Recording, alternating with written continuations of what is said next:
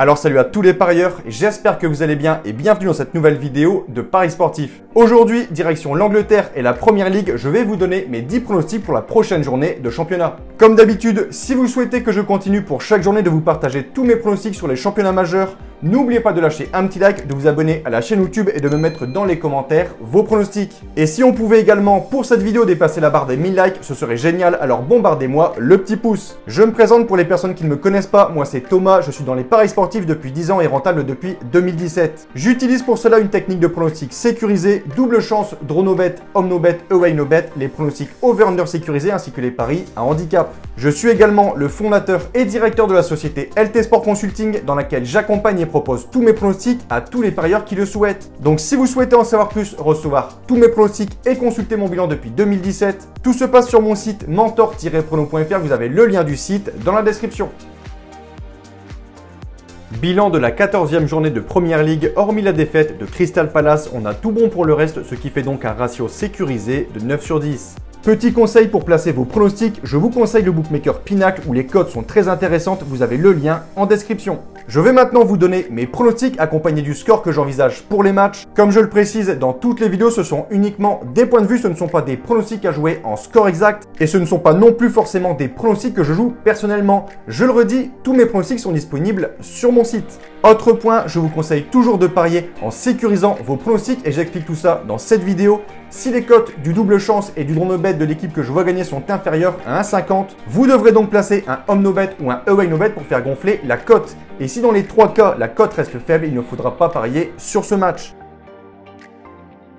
15e journée en Angleterre, West Ham, Chelsea, on commence direct avec un choc de Première Ligue. Les Hammers sont quatrième au classement, les Blues de leur côté sont premiers. Chelsea, cette semaine, a signé une victoire importante contre Watford 2-1 et de son côté, West Ham, avec son nul contre Brighton, a signé un second match de suite sans victoire. Ce déplacement ne sera pas facile pour les hommes de Tourelle, mais ils sont très solides en déplacement avec 5 victoires de suite à l'extérieur. Je les vois une nouvelle fois s'imposer 1-0. Second match, Newcastle reçoit Burnley. Pour parler un peu des Magpies, c'est tout simplement la lanterne rouge du championnat. Ils sont pour l'instant la seule équipe à n'avoir toujours pas gagné le moindre match en Première Ligue. Et avec seulement 7 points pris en 14 journées, ils possèdent 6 points de retard sur le premier non relégable, Watford. Lors de la dernière journée, Newcastle est passé tout près de sa première victoire, mais Norwich a égalisé en fin de match. Ils voudront donc essayer de signer enfin cette victoire ce samedi contre Burnley qui reste sur 3 matchs nuls. Mon point de vue, victoire des Magpies 2-1. Southampton, Brighton. Ça y est, les visiteurs ont cette semaine signé leur dixième match de suite sans la moindre victoire. Ils ont donc chuté au classement à la 9 place. Ils se déplacent ce samedi du côté de Southampton qui reste sur trois matchs sans succès. Personnellement, je pense que les locaux pourront s'imposer 3-2. Les Reds de Liverpool se déplacent sur la pelouse de Wolverhampton. Depuis leur défaite 3-2 du côté de West Ham, les hommes de Klopp ont très bien réagi. Après un succès 4-1 contre Arsenal, 2-0 contre Porto et 4-0 contre Southampton, Liverpool a cette semaine écrasé Everton à Everton 4-1. Wolverhampton, de son côté, reste sur deux matchs nuls sur le score de 0-0. Je pense que cette fois-ci, on verra des buts, mais plutôt pour Liverpool que je vois gagner 2-0. Pour ce match entre le premier Watford et le champion d'Angleterre Manchester City, je vois clairement un succès des Citizens 2-1.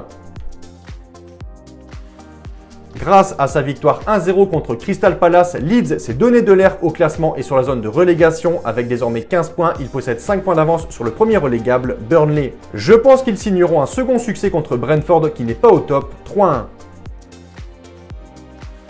Direction Old Trafford, Manchester United reçoit Crystal Palace. La crise semble visiblement terminée du côté des Mancuniens. En effet, après ses deux défaites 2-0 contre City et 4-1 contre Watford, Manchester a signé 3 matchs sans défaite, 2-0 contre Villarreal en Ligue des Champions et en Première Ligue, un très bon nul un partout contre Chelsea et une belle victoire contre Arsenal 3-2 grâce notamment à un doublé de Ronaldo. Crystal, de son côté, après 7 matchs sans défaite, vient de signer deux revers de suite. Je pense qu'ils en signeront un troisième à Manchester 2-0. Un peu comme Manchester juste avant, Tottenham en championnat va beaucoup mieux. Deux victoires d'affilée contre Leeds 2-1 et Brentford 2-0. Comme on dit, jamais 203. Je pense qu'ils gagneront une troisième victoire de suite en Première Ligue à domicile 3-0.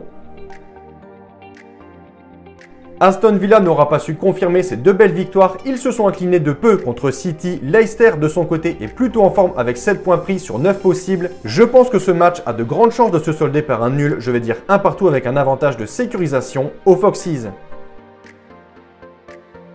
Avec sa lourde défaite contre Liverpool 4-1, Everton a signé un huitième match sans victoire. Rien ne va plus pour les Toffees qui dégringolent au classement. Arsenal, de son côté, reste sur deux défaites en deux déplacements à Liverpool et Manchester. Je vais également pour ce match partir sur un nul 2-2 avec tout de même un avantage aux Gunners.